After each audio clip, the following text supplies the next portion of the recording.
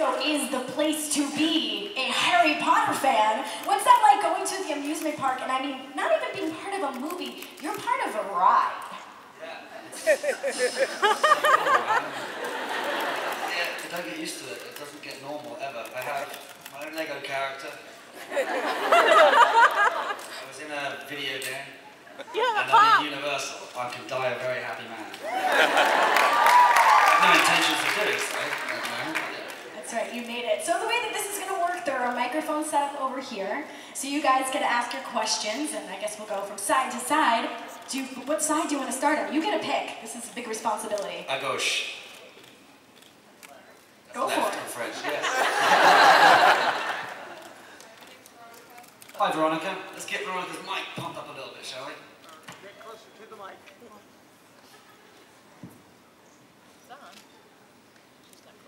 Okay, my question is, um, what motivated you to make Tom Felton Meets the Super Pants, and how fun was it to make? That is quite stressful to make. Um, it came because seven or eight years ago when I first came to conventions, like most people who haven't been to them before, they're quite a daunting place. And it's quite easy for people and society to look at people with strange passions um, and look down on them, or somehow be condescending about it, or somehow. Uh, it never made any sense to me that my friends found a 40-year-old man dressing up as a stormtrooper to be utterly ludicrous, but painting their face red and screaming for a football team they have no affiliation with, that's okay. So,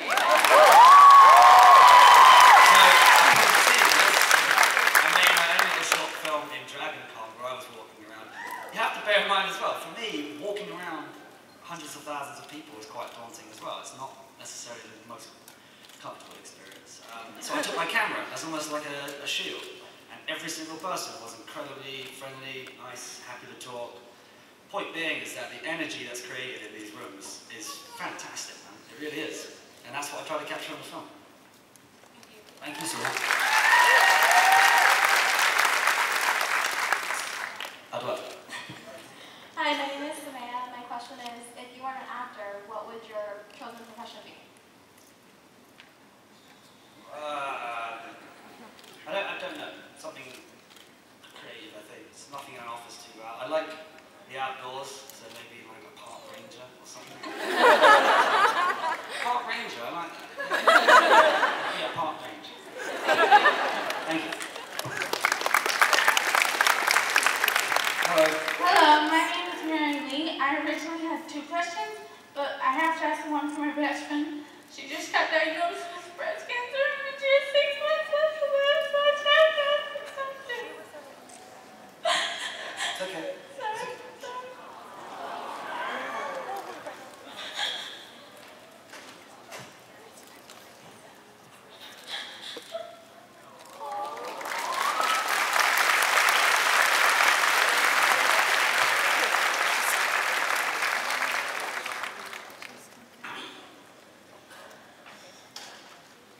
Go for it. Sorry. What was the second part? Um, she wanted to know, um, what, now I can't remember the question. she wanted to know, um, if you could, um, like, um, great, I'll just she wanted to know if you had any, like, favorite scene in Harry Potter was the film, and what the scene was, and why. There's some really cool scenes in the second film in Borgin and Burkes with me and my lovely father who's, who's here, which is cool. Um, that was really cool. We had some moments there to dance together and for him to hit me with his stick some more and generally bully the hell out of me. Um, that was a lot of fun. And I guess I didn't make it because they, you know, they shot so much. It's very Yeah. hard to fit those wonderful books into a two-hour film. Um, Yeah. So yeah, there's, I'm sure there's some really cool behind-the-scenes deleted stuff that's not. Yeah, I've seen everything. Yeah, no doubt we'll uh, scratch and sniff box it in years to come. We'll see it. Can I ask my question too, or is, or? Sure. Okay, um, my question, my question was, um, did you have, um, what role did you aud, I, I heard that you aud- originally auditioned for Harry. What was that like, auditioning for the iconic character of Harry Potter? I mean, he wasn't iconic then. He was just. I grew up with Harry Potter, so I'm just trying to figure out what it was like for you as a. Yeah, it's just another. I was, an act, I was an actor, so it's another another audition with things that I had no idea what. You had no idea it would be this popular. No, no one did that. At that, at that point, I was talking, there was only two books out, and really the face of literature was changing as we speak. And single-handedly, within those two years, I became very uncool for not knowing what was happening in these books. Before that, it was very much the opposite. Um, I think that's the greatest thing that's probably come out of it. Thank you very much. Thank you, sweetheart. Good luck to your friend,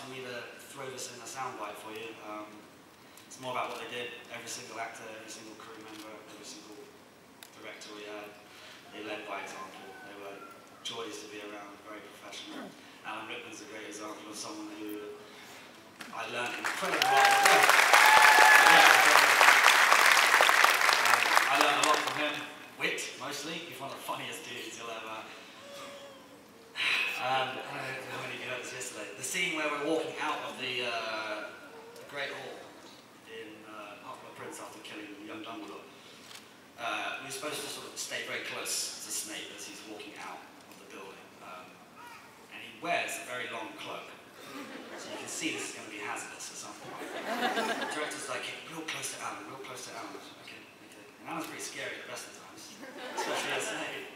Uh, and he turns around before we start. We start the shoot, and between me and the other Death Eaters, he just said, "Don't step on my effing cloak." he didn't say effing. Needless to say, first take, walking down, whack, straight on the back of his cloak. yeah, he wasn't. He wasn't. so yeah. Thank you. My pleasure. All right, Potter. There you go. If Hogwarts was real, what house would you be in? Make no mistake, my friend, it is real.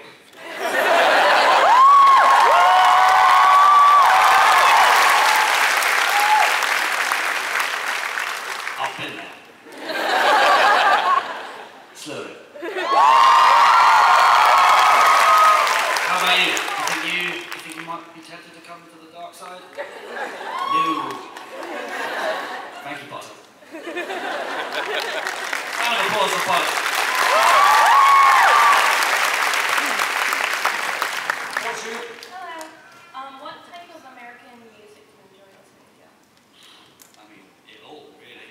Um, America's responsible for so much great music. Um, right now, like blues, I suppose, or like old. Like Jazz. older, like Yeah, I really have this compulsion at the moment to want to go to like New Orleans and go to some sort of like street jazz festival. That kind of thing. But I like it more uh, classical, uh, rap, R&B, rock, acoustic, mostly acoustic. Thank you, sweetheart. So yes,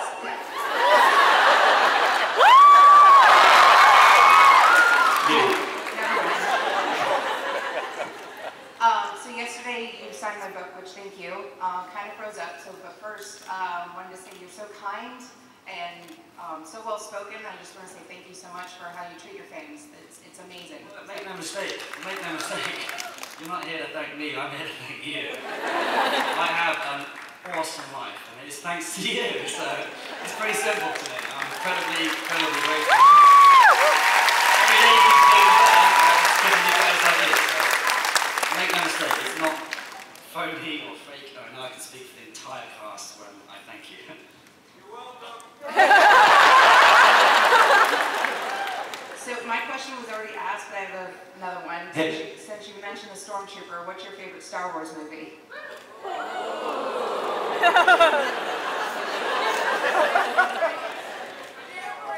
Um, I'm about to create some enemies, I feel like. I've never seen any of them. Thank Yeah. goodness this is a Harry Potter panel and not a Star Wars panel. I get, a lot of flack. I get a lot of flack for that from a lot of people. And I've never shared it. Oh my god, what am I doing? Don't tell anyone. Never. Is there any recommendation? Which is the one I should love the most? All of. Okay. Start with the original trilogy. No. And then go from there. Ready, the room is divided. you know how to shout for Trump over there. Thank you for your question. Thank you. I appreciate it. Oh, sorry, I forgot. Um, I was wondering if you've ever gotten in trouble and then gotten out of it because you were a celebrity. Uh, quite the opposite, if anything. Uh, got me in trouble for being one. Um, no, No. no. I've never, well, pro- probably, but I've certainly never, like, used it and been like, uh, you know, I'm sorry I lost my train ticket, but hey, I was in Harry Potter, so.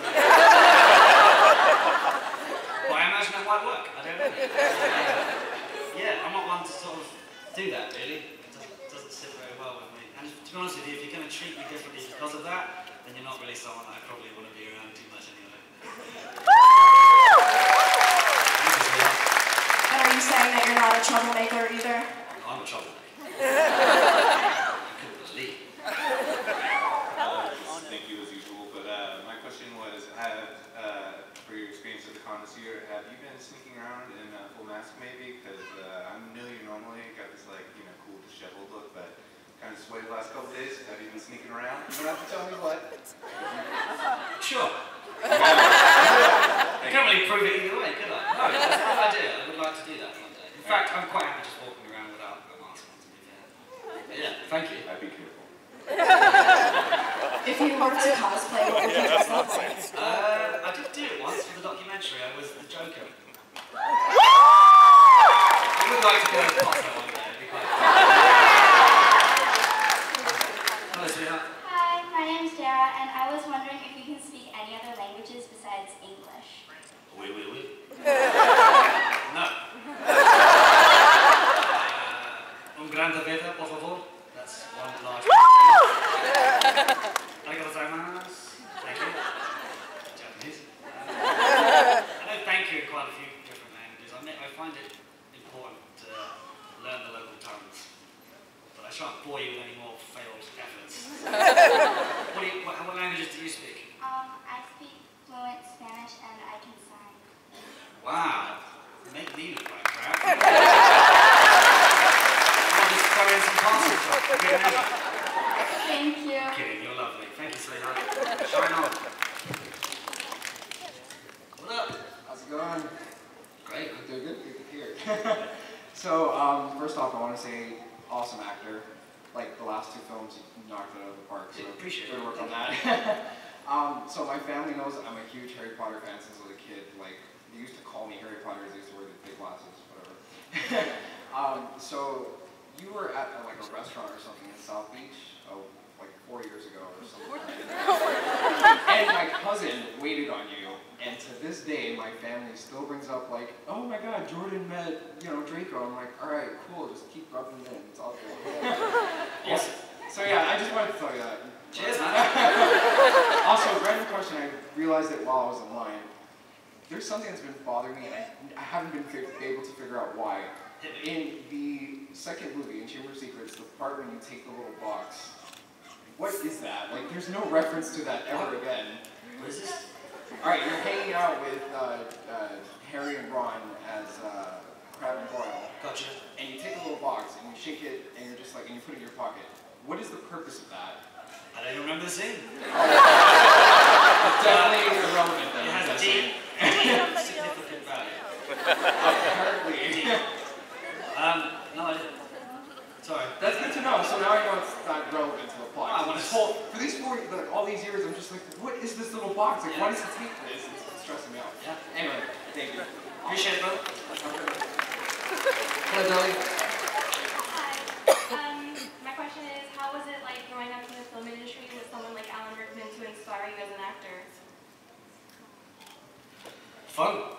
not, not particularly fun at the time, to be honest with you. Um, you know, taken out of school for nine months a year and sort of made to be educated by ourselves solo in a room. It's just not, it's not always as uh, fun being a class clown when you're the only geezer in the room.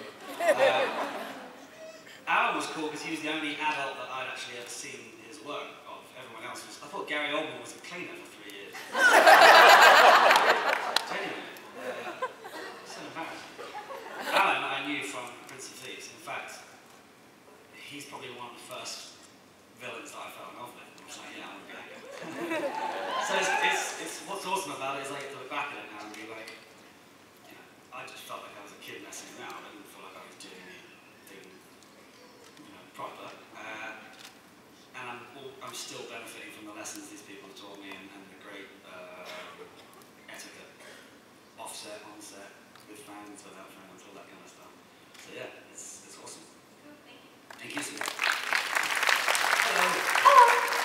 I'm Maddie, and I was wondering, Harry Potter and the Cursed Child opens up on London's West End pretty soon, and I was wondering if you would be interested in continuing the series after I thought you were going to invite me to go with you. Tickets, so yeah, let's do it. Sorry, what was your question?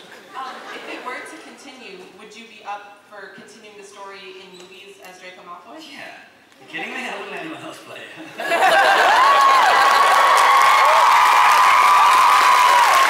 Do it for free.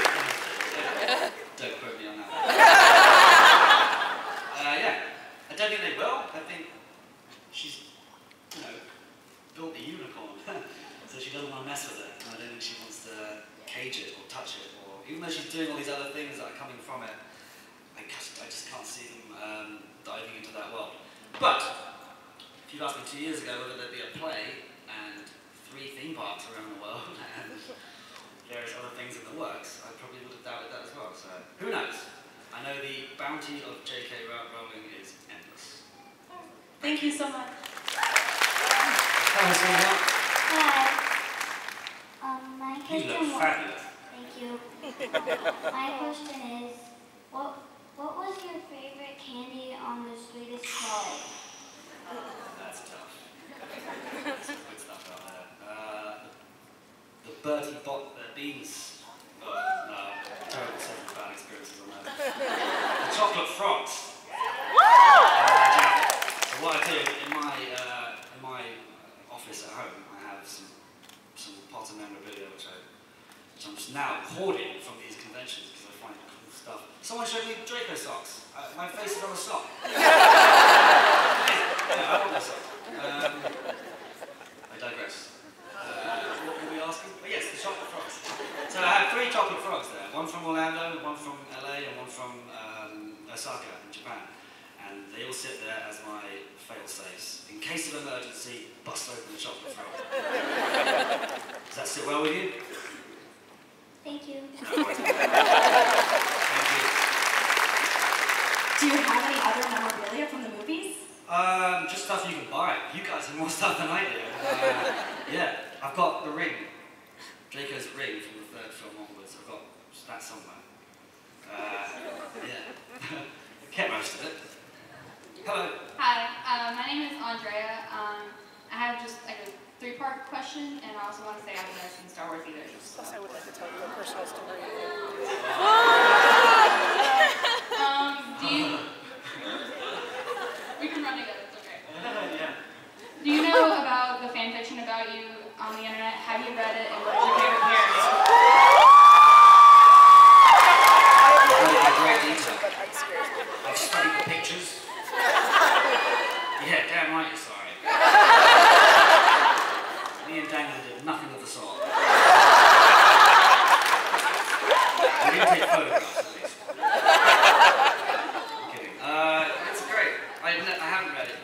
Draco and an apple. Amazing, amazing. The, um, the fruits of the imagination of the youth are bountiful. Uh, it's the, I haven't read it because I do find it slightly um, odd. I like how Jo says it as well. She feels it like someone's rearranging the furniture in the house. Yeah. Um, I think it's great that it inspires people to want to write. What they choose to write about is up to them. Thank you. Thank you so much. Hiya. Hello. My name's James. Hi. Um, in your experience, can you tell me, do you think blondes have more fun? Bad, uh, bad boys have fun and blondes have fun. So you can only imagine what my life has been like. You should try purple sometime. Do you want that? We'll try purple sometime. Possibly I will. You're rocking it. Thank you, lovely. Like your t-shirt. Thank you. Uh, this question is actually on behalf of my friend Hannah Martin, who couldn't make it here today. Hello, Anna Martin. Oh, tell her you said that. you probably get this question a lot, but she wanted to know what was your favorite and least favorite part of playing such an iconic character like Draco Malfoy? What's my favourite part? Being able to, like, I don't know, meet people and make their day without doing anything. it's great. No, genuinely, it's great. We get to go to children's hospitals, we get to go to all these amazing foundations and, like, help by literally doing nothing. I just have to go in there and meet kids. It's like the greatest gift of all, yeah. It's literally magic. You can part. It's literally magic. So, yeah, that's a, that's a pretty cool part. Thank you. Thank you. Hello. Hello, I'm Katie. Uh, first of all, shout out to Sarah and Holly who accused her to come up here. Clap, clap, clap. Woo! Hi. Alright, um, I have a two-part question. So the first one is, what emotions came over you as you finished the last Harry Potter book? I finished the last book. Yeah, as you as you finished it and you set it down, like what what kind of feelings washed over you? Knowing that like the series that kind of made your career was ending. I mean, it's kind of hard to imagine, but we- we're filming it in quite a little bubble. We're not particularly aware of what's going on around the world of the success of the film, especially when we're filming them. Bear in mind, this is 10 years on now. We're already like way, way beyond when we're actually filming. Even when we're doing the fourth, fifth, and sixth film, we don't really know that there's a thousand people willing to shut down a Japanese airport because you're going to fly in there or something like that. It's all very strange thoughts. So when I read it, I was just, you know, to be quite honest, it was just like, oh, cool. That's what I get to do. Well, let's go back and reread it. Well, that scene was cool. Look forward to doing that scene. I wonder what the colour of the sky is going to be like when Voldemort does this and does that. It's cool because you get to take the bits that you like and envision what they can create out of them, and it usually surpasses that, so it's fun. Alright, thank you. Um, the you. second one was will you high five me? Um,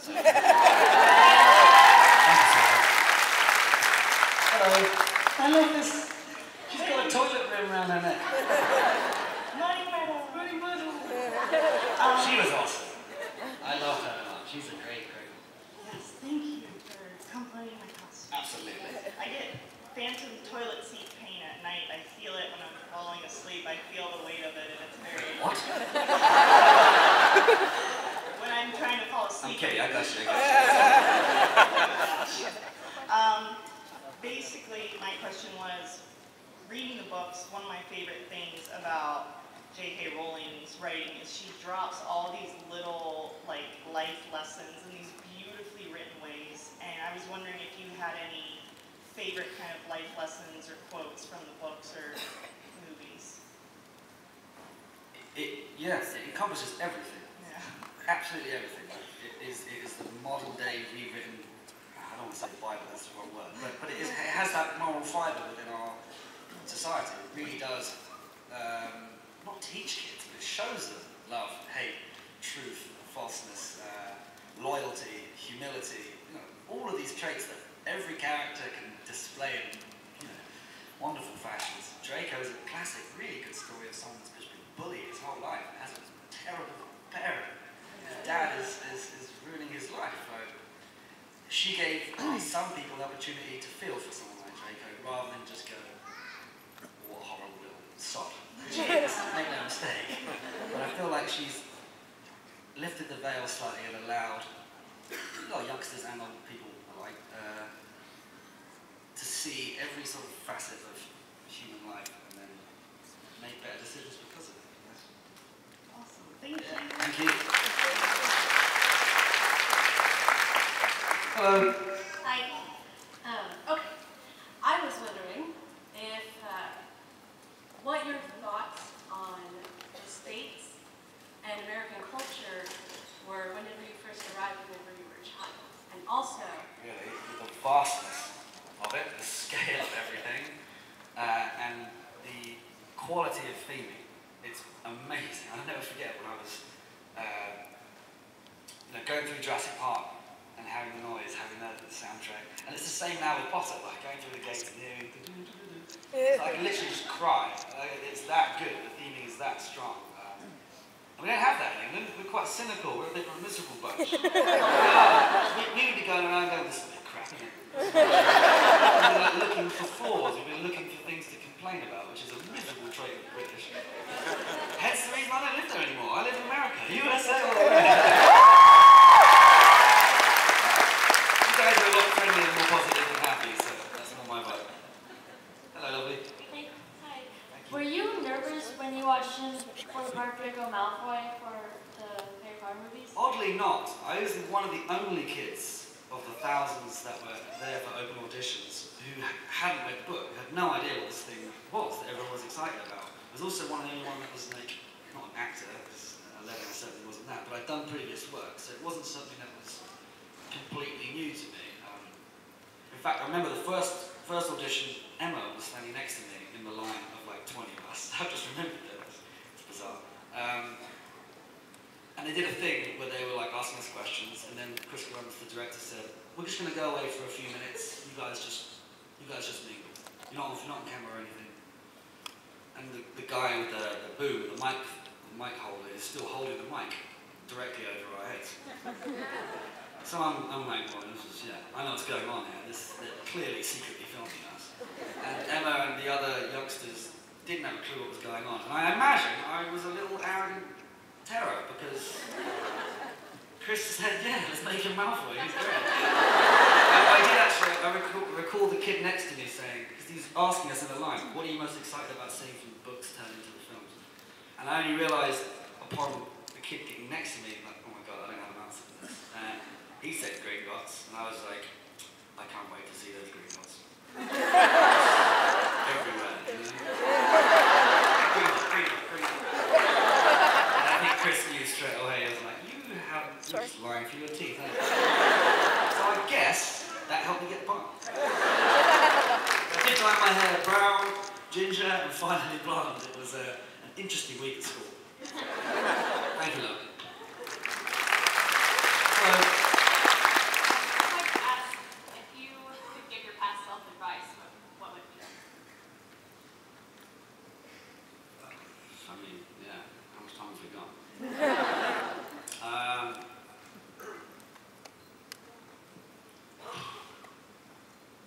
I don't know. I think it's pretty good. I don't have a lot of advice for young Felton. Um, honestly, that's that's deep. You got me thinking. Um, have have fun. Not that I didn't. I had a lot of fun along the way. Uh, I suppose you know what. There are good lessons. Care a lot less about what people think about you because it doesn't. It equates to nothing. Um, and it's amazing to have all this praise. Amazing to have all this adoration. But like, I'm gonna be me regardless, and I'm gonna be happy regardless. And no one else can really give that to you or take it away from you personally. So, uh, yeah. Thank you so much. Hi, uh, my name's Rhonda, and I'm another big fan of the music that you post on YouTube. so my question is, what sparked your interest to start writing songs and posting them on YouTube? Um, always loved writing songs. Been playing guitar for a long time. Love the Beatles. Uh, why did I put it online? That's a good question. I don't know. I guess I wanted to share it. I haven't done so for about eight years. I think the last video I put up was, was yonks ago. Although, funny you mention it, because I was mulling with the idea of putting up another little uh, um, medley that I've thrown together. So maybe it's time to update that account. Hi. Would you watch it? Thank you. Cheers, man. Hello. Hello. My name is Cindy Aubrey, and I've been a huge fan of yours for years. Carried over to adulthood, to my Harry Potter Sloan themed wedding, Ah. and over to my son What? back there, Draco Xavier. um, so my question is, I also create magic every day, working at Walt Disney World. Didn't do it. And I was wondering what your favorite Disney World ride is. If you've ever God, you're gonna hate me even more now. Oh I've gosh. been to Disney. I've never been to Disney. Uh, Universal. I haven't been to Disney. Yeah, I've been to Disneyland in California with my niece. Same thing. Yeah. she loved it. Um, what did I enjoy there? I just love theme park food, man. I could just walk around and just eat. Maybe waffles. Ah, waffles and hot dogs and buckets of coke the size of my head. It's brilliant. brilliant. Um, I digress because I think about food, man. but thank you for creating magic for all these wonderful people over there. What a great job. Yeah, bravo, bravo. Hey, lovely. Um, so I grew up, like most people here, reading Harry Potter, watching the movies. I saw all of them in the theater, read every book, backwards, and they're in pieces in my room. Um, you were actually my first celebrity crush. and I can't believe I shouldn't have that in front of people, but I did. Um, my Why was? It's like past tense. No, you're my first one. I'm curious. Still Um, so, y'all grew up, you know, kids and filming, and like you said, you were a class clown. Did y'all do any pranks with each other? If so, what is what is your favorite one that you can remember? Y'all pulling pranks on each other and jokes and stuff. Yeah, it's pretty relentless to be honest with you. Uh, Radcliffe had, a, had my favourite one of stealing your phone and turning the language into like Arabic. and of course you can't change it back unless you know Arabic.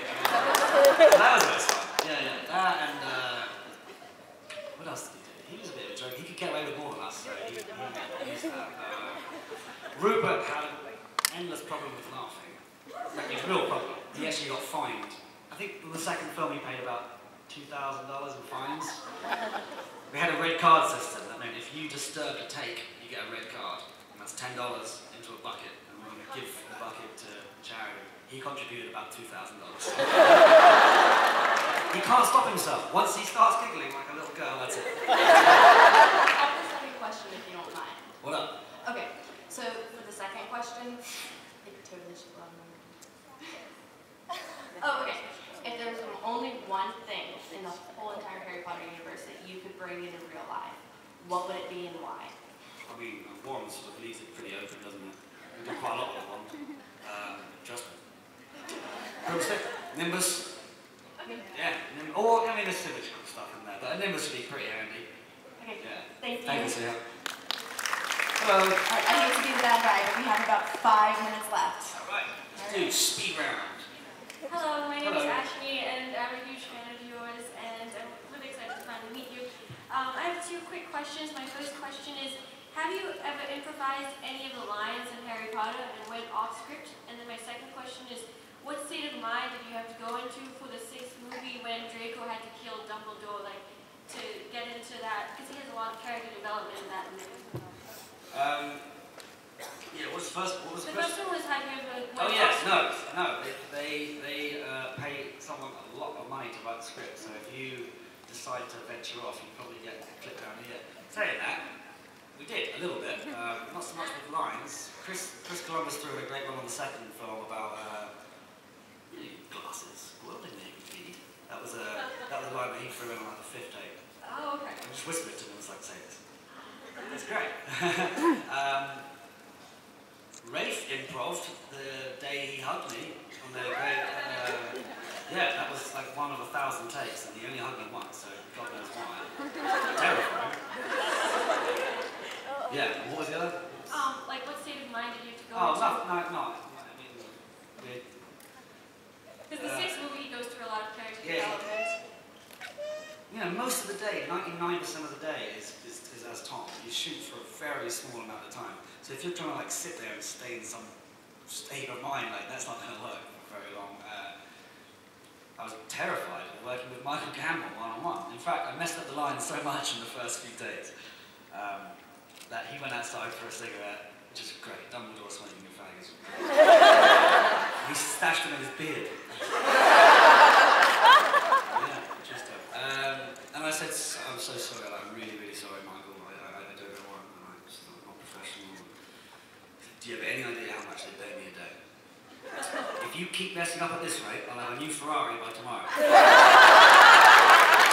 And that is a classic case of the sort of class that I was working. with. 'Cause immediately I was like, oh, he's cool. Thank you so much for answering the question. My pleasure, lovely. Hello, um, my name is Sophie, and um, I heard that you were ill yesterday, and so I didn't go to your autograph panel, and I felt kind of bad, so I made something for you. And also, I have a question of if Draco Malfoy were to become an animagus, what animal would he turn into? Oh, ferret. Yeah. It took me a long time to figure out how to turn into that ferret. that was a tricky character development for me. Yeah. I'll try and turn into a ferret. Um, man, he's a cute little ferret. Um, I'm just reminding myself, man, the ferret running up and down. Is it James trousers?